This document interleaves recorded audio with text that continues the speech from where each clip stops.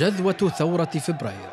أبت إلا أن تكون متقدة من خلال مظاهر الفرح والاحتفال التي أظهرها الليبيون في كثير من المدن الليبية بمناسبة الذكرى الثامنة لثورة الشعب التي لا زالت تجدد الأمل لدى أبناء هذا الوطن في التحول إلى دولة العدل والتداول السلمي على السلطة ليستتب الأمن ويستقر الأمر للليبيين ويتمكنوا من اختيار من يحكمهم بإرادتهم دون إجبار أو تزييف أو خداع من أحد رغم كل ما تعرضت له الثورة من تشويه ومحاولة إخماد لصالح من أقضت عروشهم سواء من داخل البلاد أو خارجها.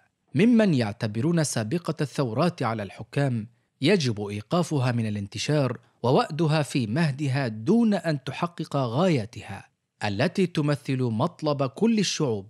الباحثة عن الحرية والتغيير للأفضل. بدل أن تساق كما يرى ويبتغي حكامها المستبدون. ثمانية أعوام والثورة الليبية تنافح وتكافح لتحقيق ما أريقت من أجله دماء الشهداء وتقف في وجه أعدائها الذين راهنوا على إفشالها مقابل إعادة السيطرة على الشعب من جديد. تحت ذرائع ومسميات خادعة وإدخاله إلى حظيرة الطاعة وشرنقة الخنوع والخضوع. إن ما تشهده المدن الليبية من فرحة بهذه الذكرى المتمثلة في خروج الناس إلى الميادين وتزيين الشوارع ورفع علم الاستقلال علم الثورة.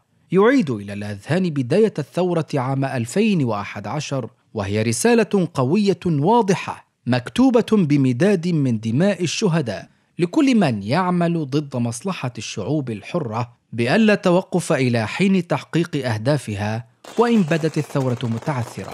ولا ركون للباطل وإن ادعى السيطرة والانتصار.